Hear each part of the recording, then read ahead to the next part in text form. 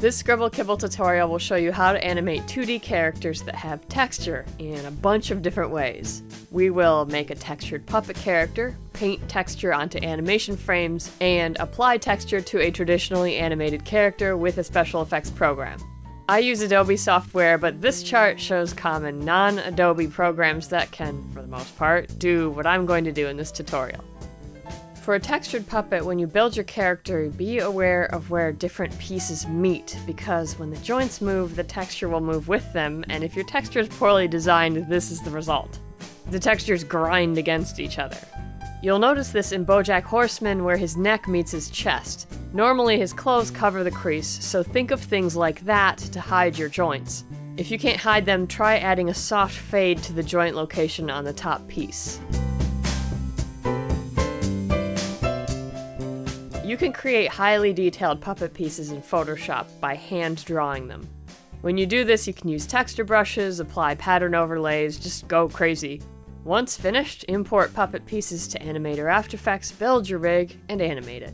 Don't want to paint? Well, in Adobe Animate, you can use raster-based textures as a fill or a brush. For fill, click the Paint Bucket tool, and in the Color panel, use the drop-down to select Bitmap Fill. And here's a texture I made in Photoshop. I'll import that. Now click the area you want to fill with the paint bucket. The graphic automatically tiles. You can rotate, scale, and skew the pattern by choosing the Gradient Transform tool and then clicking on the fill area. Animate is not going to remember the transformations you make, so if you adjust one pattern, you are going to have to manually change it everywhere unless you use the eyedropper tool and allow lock fill. So the best thing to do is design a bitmap fill that you're not going to need to transform in your animation. Notice when I use the bucket that the fill pattern follows my character. If you want the fill pattern to stay on the same place on the stage, then when you click the paint bucket tool, you need to select the lock fill modifier. And here's the difference. Everything I just said about the bucket tool also works for the brush tool. One very time-consuming way to texturize your character is to paint every single animation frame by hand. This is really easy to do in a program like TV Paint, or if you happen to be animating directly in Photoshop, GIMP, or some other painting program. Otherwise, you need to first export your animation frames from your animation program in order to paint them. Here is Wime Time's character. To export as frames, File, Export, Export Movie. Make a separate folder for all the PNG images you're about to create, and save. Go over to Photoshop and click File, Open, and click the first frame of your exported animation. Check the Image Sequence box. Photoshop will automatically create a timeline.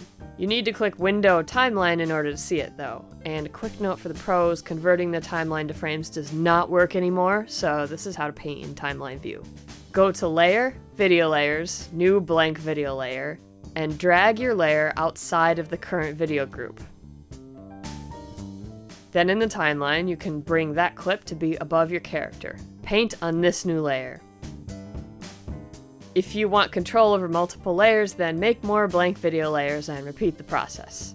You can group your painting layers to your character layers so they don't bleed outside the character boundaries.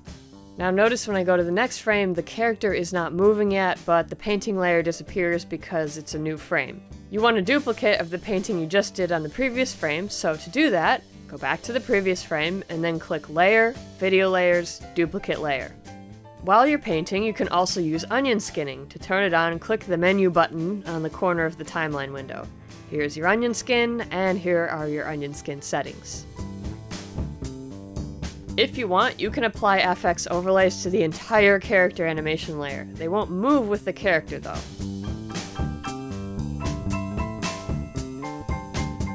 Look at this hideous paint job. Let's save it.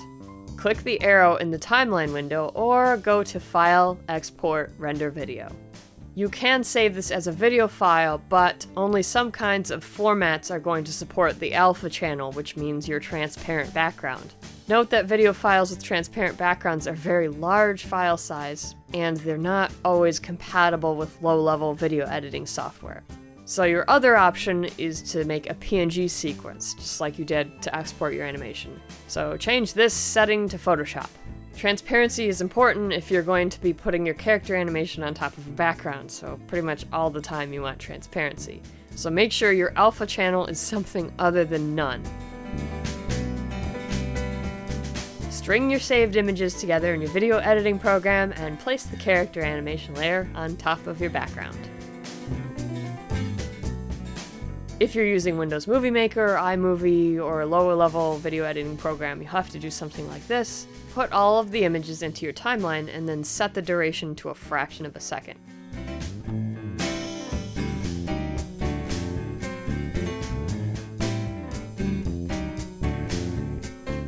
A quick texture technique you can do is place a static texture over your character. The problem with this is it looks like the character is moving through the texture since the texture layer doesn't actually move. For this quick method, go to After Effects, duplicate your character animation layer. Drag your texture onto the timeline underneath the duplicate. Set the track matte to alpha. If you can't see track matte, click these sneaky icons on the bottom left.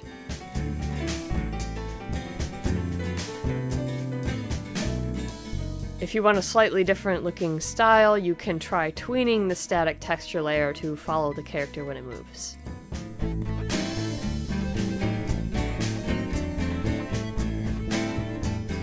Animators get around the problem of the previous textured method by creating an animated texture. The key to making animated textures is to not have a massive difference between each frame, otherwise the effect is very jarring. I'll do a quick one by painting the frame a couple of different times with the same brush and making a movie file out of the images. Meh, it'll do.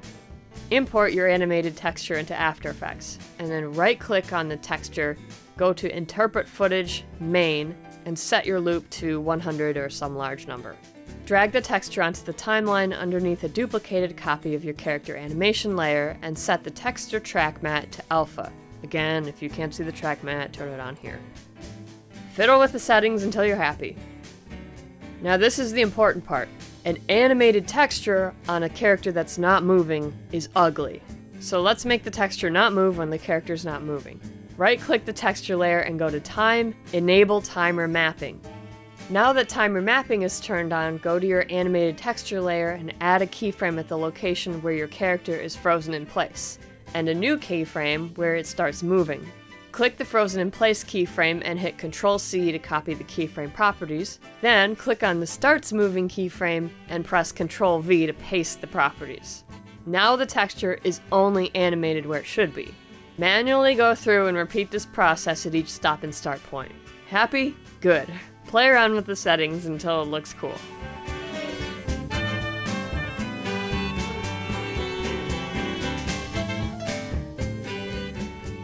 That's enough texture. I'm done with texture. Keep experimenting from here and you'll find lots of different ways to put texture on 2D animations.